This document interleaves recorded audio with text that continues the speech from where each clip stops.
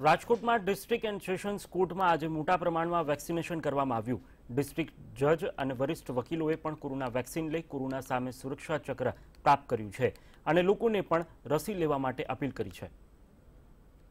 આજરોજ રાજકોટ ડિસ્ટ્રિક્ટ કોર્ટમાં રાજકોટ કોર્પોરેશનના સહકારથી વેક્સિનેશનનું પ્રોગ્રામનું આયોજન કરેલું છે અને સવારથી અત્યાર સુધીમાં લગભગ એકસો સાહીઠ લોકોએ વેક્સિન લઈ લીધી છે.